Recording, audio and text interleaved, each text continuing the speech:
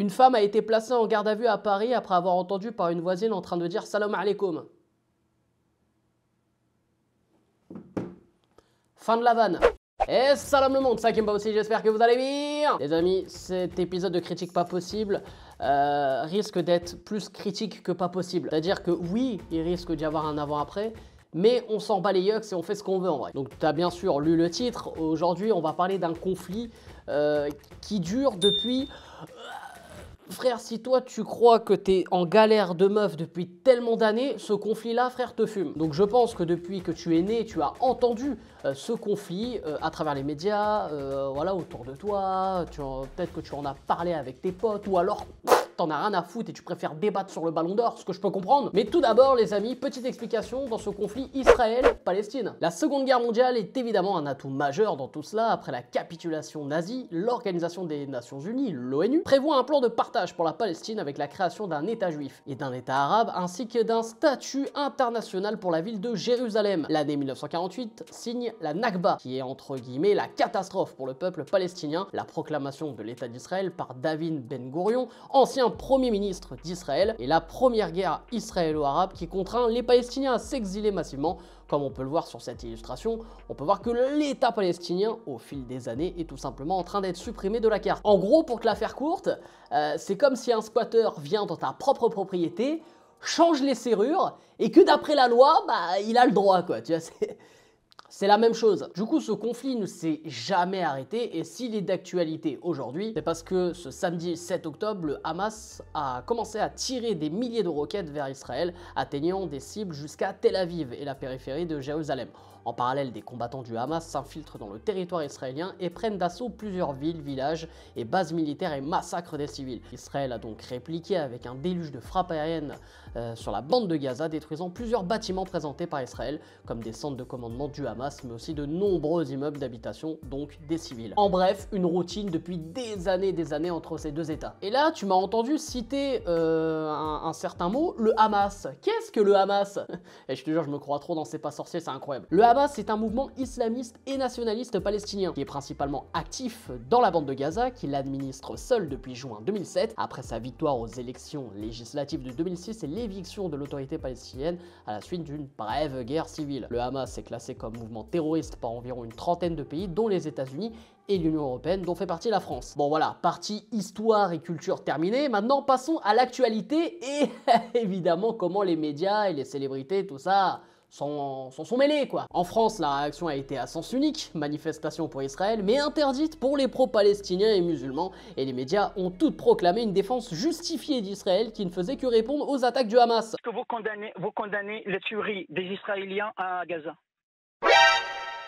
J'ai envie d'intervenir. Je suis ah, désolé. Louis, Louis, de Ragnel veut intervenir. Louis... Non, c'est vous qui répondez pas Pardon, mais en fait, qui a attaqué qui? Pardon? Pardon? Pardon? Pardon Allez, fin de la vidéo, voilà, c'est tout. non, je rigole, évidemment qu'on va débriefer là de, tout ça. T'es un ouf ou quoi? Euh, mais euh, ça risque peut-être d'être ma dernière vidéo d'ailleurs. Tout d'abord, concernant les manifestations, ce sont les manifestations pro-israéliennes qui ont eu lieu, avec évidemment l'accord des maires et préfets en question. Concernant les manifestations pro-palestiniennes, eh ben non, non, non, au début, non, non, bah non, pas le droit, non, non, non, c'est caca, c'est boudin, non, c'est, ah, c'est berk, non, c'est. En fait, non, il pouvait pas parce que bah, les. Euh, les, euh, les, les, euh, bah, les punaises de lit. Les punaises de lit, non, c'est. Bah ouais. Tu vois, c'est tu peux pas le Covid, le Covid, c'est le Covid, c'est le Covid. Même si tout récemment, quand j'ai préparé cette vidéo, évidemment, une manifestation pro-palestinienne a eu lieu euh, à Paris et a été autorisée, bien sûr. Mais il fallait attendre euh, des lustres et des lustres. C'est pas grave, c'est tu vois, des fois quand il y a un bug, tu vois, c'est la latence. C'est pas grave, ça c'est la connexion, c'est faire. Bon, du coup, euh, les médias en France se sont accaparés de ce conflit Israël-Palestine, hein, qui a lieu bien sûr depuis des années et des années. Et euh, ils ont été franchement très honnêtes, euh, très, très partial. Euh, enfin, presque. Pour le Hamas, l'État juif est une échymose sur l'épaule de l'islam. Je pense qu'on peut mettre en parallèle les souffrances actuelles du peuple israélien qui sont inouïes, inimaginables, les souffrances du peuple palestinien de Gaza, l'occupation, mais on ne peut pas mettre en analogie le massacre génocidaire qui s'est passé le 7 octobre et la situation euh, euh, en Palestine. Malheureusement, il n'y a pas de manifestation aujourd'hui qui soit pro-palestinienne. Les manifestations qui se mettent en place sont des manifestations pro-Hamas. Est-ce que vous auriez accepté en 1938, 39, à Paris ou à Berlin, qu'il y ait des manifestations pro-nazis? Ah non, mais les gars, faut les comprendre, faut les comprendre, les gars. Eh, on sait qui paye les factures, les gars. Ah ouais, hein.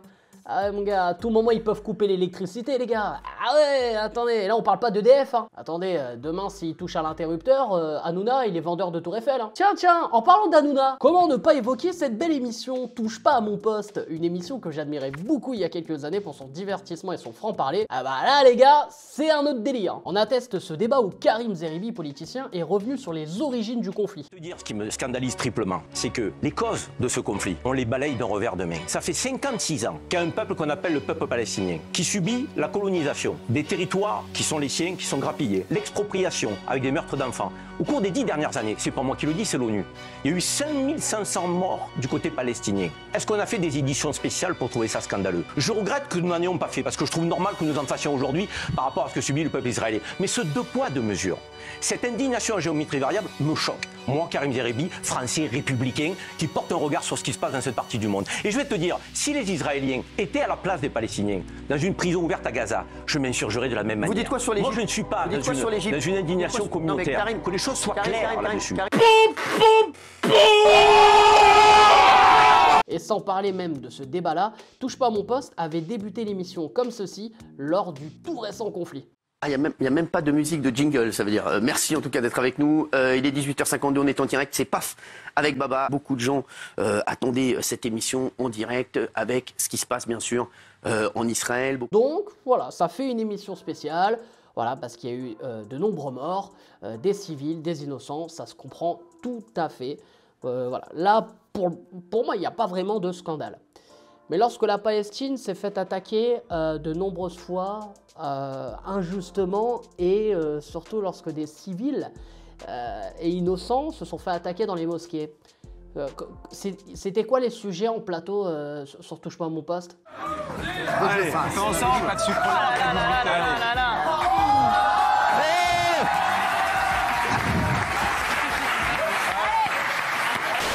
Est-ce que tu veux m'épouser?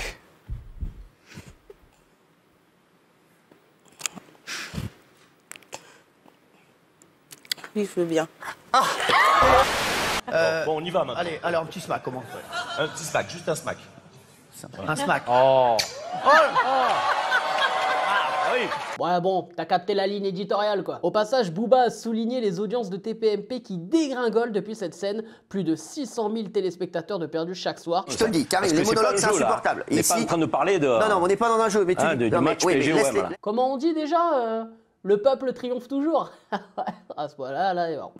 la Ligue des Champions, les mecs. hein. Sinon, je voulais parler de Jean-Marc Moranfili. Alors, c'est un mix entre son blaze et euh, t'as capté. Cette sombre chose, c'est quand même défendu de dire en plateau que le terme Allahu Akbar était dangereux alors qu'il ne connaît même pas la signification du terme et l'associe directement au terrorisme. Encore une fois, l'amalgame basique. Certains qui crient Wagbar, Ouais. c'est peut-être pour rendre justice Oui. sur ces milliers de Mais victimes. vous êtes d'accord que c'est symbolique aujourd'hui Allah Akbar, c'est ce Mais que c'est vous qui en faites un cri Non, terroriste. Non, non, non. Moi, j'en fais pas un slogan Ah bon terroriste. Mais- Moi, mais- j'ai suffisamment de respect et- pour les croyants, Excusez-moi, dès, qu'il y a quelqu'un qui est égorgé, la première question qu'on se pose, c'est qu'est-ce qu'il a dit alors- Et en alors- général, alors, je vais vous poser en la général, question. quand c'est terroriste, il a dit Allah. Akbar. Alors, je vais vous poser la question, Jean-Marc. Le Syrien chrétien qui a créé In the Name of Jesus, quand il a assassiné des bébés à Annecy, est-ce qu'à un moment donné, vous avez tremblé le dimanche à la messe parce que on prononçait Quel le mot de Jésus? Bon, par contre, on est où là, euh, concernant Jean-Marc là euh, hein, Ces affaires d'harcèlement sexuel, tout ça là Non, c'est ça. euh, Ouais, bah, mais tu, savais pas, le mec il faisait passer des castings à, des, à, des, à, des, à des jeunes garçons euh, pour, des stages, tout ça, pour les faire rentrer euh, à la télé. Mais sauf que le casting, il fallait qu'ils se mettent à Walp et qu'ils se tapent des, queues. Bah, je... Non, c'est juste pour info, c'est pour un pote. Sinon, parmi les célébrités qui ont évoqué ce conflit, du côté d'Israël, nous avons Arthur qui a déclaré ceci. Mes amis du métier euh, sont très silencieux, très discrets, je ne comprends pas pourquoi. On est là quand il s'agit de toutes les causes et celle-ci, C'est comme le Bataclan, quoi. Ou encore le chanteur Patrick Bruel qui a partagé ça en story, horrifié par ces images de terreur et de haine aveugle, soutien aux civils israéliens confrontés à la violence terroriste. Le terrorisme n'est pas une résistance, c'est une barbarie. Camus, force et courage. Bon, il a dû caler cette story entre 2-3 tournées. Euh, et surtout 2-3 massages bien coquins, hein, on, on, le connaît. Hein. Big up à Patrick, bien sûr, en tournée dans tous les, dans tous les massages tantriques des salons euh, thaïlandais. Donc évidemment, après plusieurs soutiens euh, de célébrités euh, pour Israël, personne ne s'offusque, tout le monde dit que c'est normal, voilà, Israël est la seule victime dans, cette histoire. Mais euh, quand tu t'appelles Karim Benzema, c'est pas la même chose, puisque ce dernier a tweeté son soutien pour la Palestine et a exprimé sa tristesse concernant les enfants, les femmes, les innocents victimes de cette guerre. Et bim Jackpot Gérald Darmanin remonte sa braguette et part au front en première ligne direct hein, pour déclarer en direct sur CNews Monsieur Benzema est en lien, on le sait, tous notoire avec les frères musulmans. Et si je vais en direct à la télé et que j'ai que Patrick Bruel il fait partie du Mossad, ça vous va ou? Alors pour ceux qui ne savent pas, le Mossad c'est un des grands services de renseignement israéliens. C'est pas genre il te lâche des renseignements, ouais là il fait, euh, il fait 20 degrés aujourd'hui, tout ça. Non, c'est des renseignements où ils t'attaquent par derrière avec des piqûres et tu te réveilles plus le lendemain. T'as capté un peu le délire. Lena Situation a aussi donné son avis et a défendu la Palestine, mais surtout une paix entre ces deux pays. La meuf apparemment a reçu des menaces de mort parce que elle ne disait rien. Désolé, moi perso, j'attends pas forcément l'avis de Lena Situation concernant ce sujet, ou alors l'avis de Mbappé concernant ce sujet. Enfin bref, après chacun peut dire ce qu'il veut, mais je trouve ça ouf quand même qu'il y a des gens, ils sont là chez eux, et ils se disent, eh, franchement, il faudrait vraiment que Lena Situation, elle parle, quoi. Non mais les gars, mais attendez, on n'a pas eu l'avis de Lena, quoi Je sais pas, c'est grosso modo, t'as capté, je suis pas très bon comédien. Donc du coup, elle a donné son avis, euh, mais les menaces de mort étaient toujours là. Donc vu qu'elle a soutenu la Palestine, les menaces de mort, elles venaient de quel côté? Je sais pas, à toi de voir. Mais ce que j'ai constaté, c'est qu'après avoir donné son avis, euh, elle a pas beaucoup perdu en abonnés. Hein? Elle a pas beaucoup perdu en abonnés, elle. Hein? Bon, sinon, euh, je pense que vous l'attendez depuis le début aussi. Euh, ou, pas du tout d'ailleurs. Mon avis sur ce conflit, moi j'ai pas peur de le donner. Euh, les gens là peut-être ils vont dire waouh il est courageux. Frère, personne me connaît, je ne risque rien. Frère, même ma boulangère elle me reconnaît pas. Frère, ça fait 5 fois de suite j'y vais,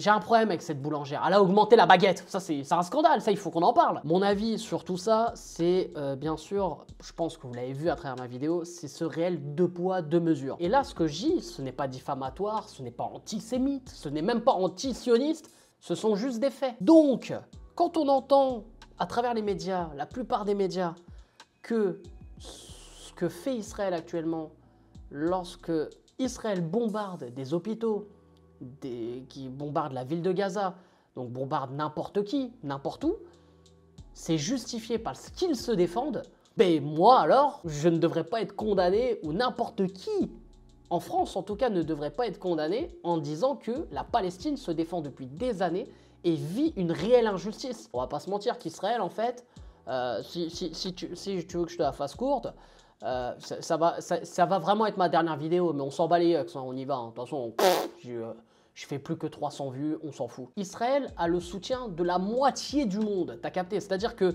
ce pays qui est à la base euh, un département a le soutien du monde entier. La Palestine est solo, frérot. C'est-à-dire que la Palestine, ils ont pas de sponsor. Hein. Ils jouent au foot, frère, euh, le maillot il est vide. T'as capté? Ils ont même pas le flocage derrière. Donc aujourd'hui, normalement, tu ne dois pas, c'est même pas normalement, c'est tu ne dois pas être condamné par qui que ce soit de dire devant les médias, peu importe qui tu es, de dire que la Palestine a raison de se défendre et a raison de crier haut et fort qu'elle vit une injustice. Je pense notamment aussi à Eric Cantona qui a déclaré euh, de, très bonnes choses par rapport à ce conflit, par rapport à la Palestine. Euh, et je rejoins également Lena Situation qui l'a très bien dit, qu'il faut tout simplement une paix entre ces deux pays. Puisque qui souffre et qui perd dans tout ça Ce sont les civils, que ce soit du côté de l'État d'Israël, que ce soit du côté de l'État euh, de la Palestine. Ce sont eux les premiers perdants. Les mecs qui sont tout en haut et qui sont là, et qui sont là avec un joystick. Voilà, là en fait, là, tu veux que je te fasse... Ok, je te fais une scène, elle, est gratos, c'est pour moi. J'imite un mec qui utilise un drone pour bombarder un pays. Voilà, c'est C'était une bonne imitation. Bon, peut-être pas sûr qu'ils utilisent la manette PS5, mais c'est pas loin en tout cas. Donc pour conclure, moi ce que je demande, c'est une paix entre l'État d'Israël et entre l'État de la Palestine. Ce que je veux surtout, c'est que l'État palestinien soit reconnu dans le monde comme l'est reconnu euh, l'État euh, d'Israël. Fin du débat. Ceci est une critique, certes pas possible, mais juste une critique. Sur ce, je vous laisse. Tahia Palestine, je vous fais la bise.